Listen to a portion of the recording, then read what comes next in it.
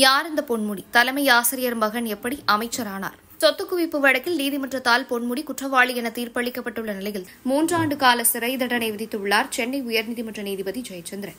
இந்நிலையில் தலைமை ஆசிரியர் மகன் எப்படி அமைச்சரானார் என்பது பற்றியும் பொன்முடியின் பின்னணி குறித்தும் இங்கே பார்க்கலாம். விழுப்புரம் மாவட்டம் திருக்கோவிலூர் அருகே உள்ள டி. எடையார் கிராமத்தை பூர்வீகமாக கொண்டவர் பொன்முடி. இவரது தந்தை கந்தசாமி பள்ளி தலைமை ஆசிரியராகவும் தாயார் மரகதம் பள்ளி ஆசிரியராகவும் இருந்தவர்கள். இதனால்தான் தங்கள் மூத்த பிள்ளையான பொன்முடியை அந்த காலத்திலேயே டபுள் டிகிரி படிக்க வைத்தவர்கள். பொன்முடியும் படிப்பில் கெட்டிக்காரர் என்பதால் எம்ஏ பிஎட் எம்ஃபில் பிஎச்டி என பல பட்டப்படிப்புகளை படித்து கல்லூரி விரிவுரையாளராக பதினைந்து ஆண்டு காலம் பணியாற்றினார்.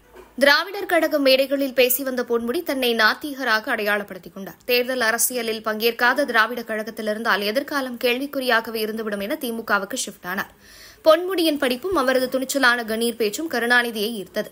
செஞ்சி ராமச்சந்திரனுக்கு போட்டியாக பொன்முடிக்கு எம்எல்ஏ சீட் அமைச்சர் பதவி என கொடுத்து அரசியலில் வளர்த்துவிட்டார் வன்னியர் சமுதாய மக்கள் அடர்த்தியாக வாழும் பகுதியில் மைனாரிட்டி சமுதாயத்தை சேர்ந்த பொன்முடிக்கு அதி முக்கியத்துவம் கொடுத்தார் கருணாநிதி.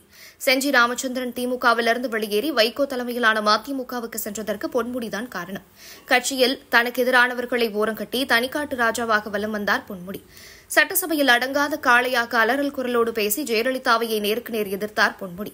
இது போதாதா? கருணாநிதியும் ஸ்டாலினும் பொன்முடியை கொண்டாடத் தொடங்கினார்கள். தலைமையிடம் கிடைத்த நெருக்கத்தால் தன்னை யாரும் எதுவும் செய்ய முடியாதென்ற மனநிலைக்கு வந்த பொன்முடி கடந்த காலங்களில் பரிந்துரை சிபாரசு என செல்பவர்களை ஏகத்துக்கும் ஒருமையில் பேசி கடுகடுப்பு வைப்பார். இதனாலேயே கட்சிக்காரர்கள் பொன்முடி அறை பக்கமே போக மாட்டார்கள்.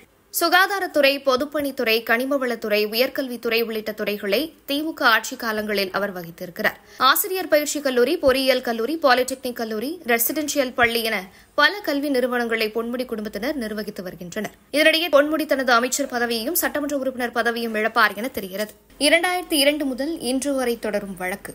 பொன்முடி அரசியல் எதிர்காலத்தை சூனியமாக்கும் அந்த வழக்கு. வருமானத்திற்கு அதிகமாக சொத்து குவிப்பு வழக்கில் குற்றவாளி என அறிவிக்கப்பட்ட தமிழ்நாடு உயர்கல்வித்துறை அமைச்சர் பொன்முடிக்கு மூன்றாண்டு கால சிறை தண்டனை விதித்துள்ளார் சென்னை உயர்நீதிமன்ற நீதிபதி ஜெயச்சந்திரன். அமைச்சர் பொன்முடியின் அரசியல் எதிர்காலத்தையே சூனியமாக்கும் இந்த வழக்கின் விவரத்தை பார்க்கலாம். பதிமூன்று ஐந்து ஆயிரத்தி தொள்ளாயிரத்தி தொண்ணூற்றி ஆறு முதல் முப்பது ஒன்பது இரண்டாயிரத்தி ஒன்று வரை தமிழ்நாடு போக்குவரத்து துறை அமைச்சராக பதவி வகித்தார் பொன்முடி. ஆயிரத்தி தொள்ளாயிரத்தி தொண்ணூற்றி ஆறு முதல் இரண்டாயிரத்தி ஒன்றில் போக்குவரத்து துறை அமைச்சராக பொன்முடி பதவி வகித்த போது வருமானத்திற்கு அதிகமாக மனைவி மகள்கள் பெயரில் சொத்துக்களை வாங்கி குவித்தார் என இரண்டாயிரத்தி இரண்டாம் ஆண்டு லஞ்ச ஒழிப்பு போலீசார் வழக்கு பதிவு செய்தனர். ஐபிசி நூற்று ஒன்பது ஆயிரத்தி தொள்ளாயிரத்தி எண்பத்தி எட்டாம் ஆண்டு ஊழல் தடுப்பு சட்டத்தின்படி பதிமூன்று ஒன்று இ பதிமூன்று இரண்டு பிரிவுகளின் கீழ் இந்த வழக்கு பதிவு செய்யப்பட்டது. இந்த வழக்கில் பொன்முடி ஏ ஒன் மனைவி விசாலாட்சி ஏ டூ மாமியார் சரஸ்வதி ஏ த்ரீ பொன்முடியின் நண்பர்கள் A Manivannan A four A Nandagopal A five ஆகியோர் சேர்க்கப்பட்டனர். பொன்முடி உள்ளிட்டோருக்கு எதிரான வழக்கை கடலூர் லஞ்ச ஒழிப்புத்துறை துணை கண்காணிப்பாளர் விசாரித்து விழுப்புரம் குற்றவியல்